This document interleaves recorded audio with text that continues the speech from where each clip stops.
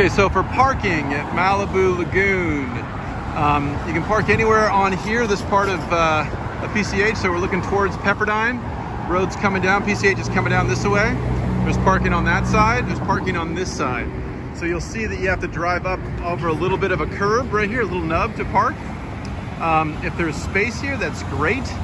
Uh, right up there at the um, at the signal, you can turn right into parking lot, the official parking lot. You have to pay, but if it's open, that's also a great way. Uh, you don't have to worry about crossing PCH or anything. But there's there's uh, parking is free all along PCH on that side and on this side. And if you're still looking for free parking or see a lot's full, up on this street over here, which is accessed from the, the previous intersection over there, there's also uh, free parking there. Um, whatever you do, be careful. Uh, people drive sillily and crazily here on PCH, but this is the this is where you want to park to get to um, our field trip at Malibu Lagoon.